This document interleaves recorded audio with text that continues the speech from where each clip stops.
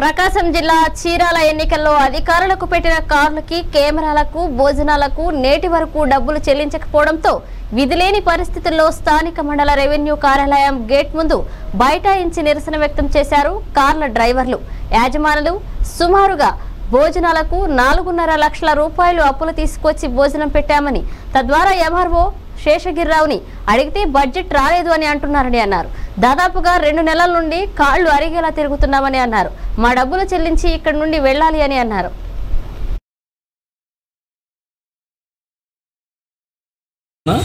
మేము మొత్తం ముప్పై బండ్ల దాకా ఎంఆర్ ఆఫీస్ గారి ఆఫీస్ ఆఫీస్ కింద ఎలక్షన్కి నెల రోజులు తిరిగాం.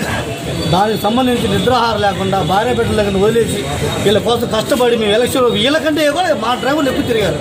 దాన్ని మా సద్వినియోగపరుచుకొని వాళ్ళ అవసరం తీరిపోయిన తర్వాత చేతులు ఎత్తేసి ఏం చేస్తారు చేసుకోండి మా బడ్జెట్ అయిపోయింది మాకు రాలేదు అని మమ్మల్ని డ్రైవర్ని నడి రోడ్లు మేము వదిలిపెట్టారు. ఈ ఎంఆర్ఓ సిబ్బంది కానీ ఎంఆర్ఓ గారు కానీ. మాకు ఎటువంటి సహాయం చేయట్లేదు. అడిగిన వాళ్ళకి ఏమన్నా ఏం చేస్తారు అన్నారు. వచ్చిన బడ్జెట్ అయిపోయింది అన్నారు. మా ఒక డ్రైవర్లకు ఒక్కొక్కడికి కిస్తులు కట్టాలి. నెలకు వచ్చి ఇరవై వేలు పదహారు వేలు కట్టాలి. నెల రోజులు తిరిగాం. నెల రోజులు తిప్పుకొని మాకు వచ్చింది ఒక్కొక్కడికి పదివేలు ఆరు వేలు మూడు వేలు ఇచ్చారు. తగమా డబ్బులకి దిక్కు మొక్కు లేకుండా బొమ్మని రోడ్డు మీద వదిలేసి వెళ్ళిపోతున్నారు.